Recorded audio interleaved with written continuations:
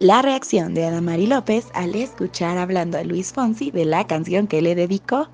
Adamari López y Luis Fonsi fueron uno de los matrimonios más famosos del espectáculo, con una boda de ensueño, donde la chaparrita de oro lucía como una princesa, pero que terminó en el momento más difícil para la conductora, pues su divorcio se dio justo cuando ella fue diagnosticada con cáncer de mama.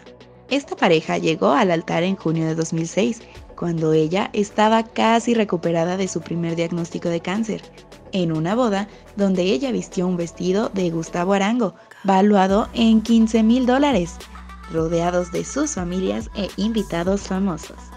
Lamentablemente, casi cuatro años después, este matrimonio llegó a su fin, rodeado de muchas especulaciones sobre infidelidades por parte del cantante y un proceso sumamente complicado donde la presentadora fue nuevamente diagnosticada con cáncer de mama.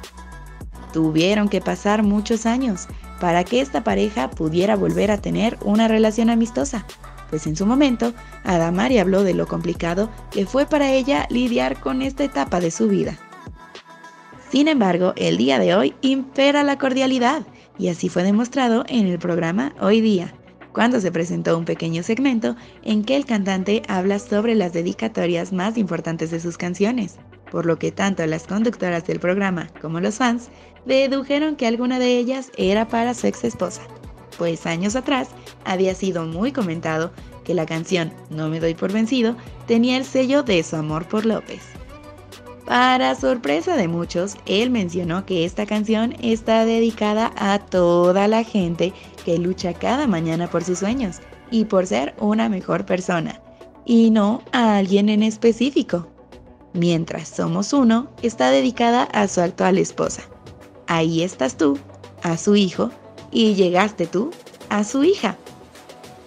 Tras estas declaraciones que culminaron el segmento, se regresó a cuadro, mientras la conductora, acompañada de su amiga, Penélope Menchaca, coreaban al unísono Yo no me doy por vencido.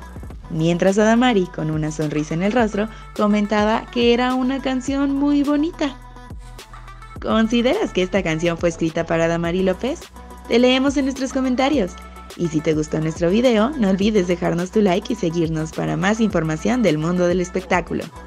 Todo el entretenimiento en un solo lugar. Ella y online.